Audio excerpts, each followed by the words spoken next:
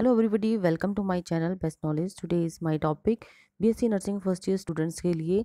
English का question paper July 2018 timing three hours total जो marks रहेगा 75 marks section one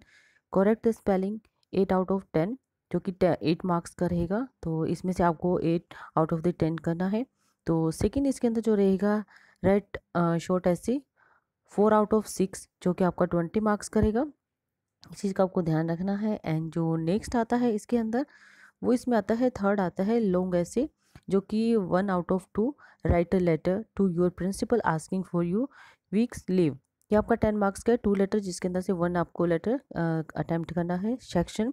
सेकेंड जो कि सेवन मार्क्स का है, फोर्थ इसमें आता है, do as directed, seven out of nine, seven marks का है। तो नेक्स्ट इसके अंदर आता है, फिफ्थ, राइट शॉर्ट ऐसे, जो कि फोर आउट ऑफ़ सिक्स है, ट्वेंटी मार्क्स का रहेगा